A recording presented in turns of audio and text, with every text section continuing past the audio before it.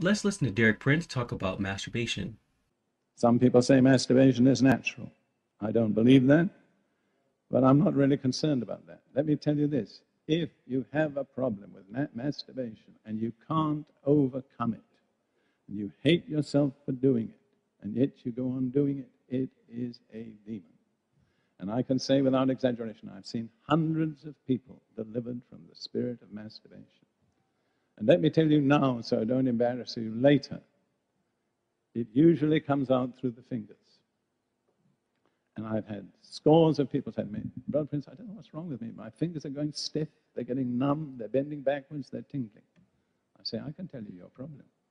It's masturbation. And listen, it's a very stubborn spirit. So if you want to get it out, you've got to be determined. Shake it out of your fingers. Go on until it's not there any longer. And plead the blood of Jesus against it. Now, if you're happy masturbating, don't let me spoil your happiness. But if you're a slave to it, as millions of people are, then I want to tell you, you can be delivered. If you like this kind of content, like, share, subscribe.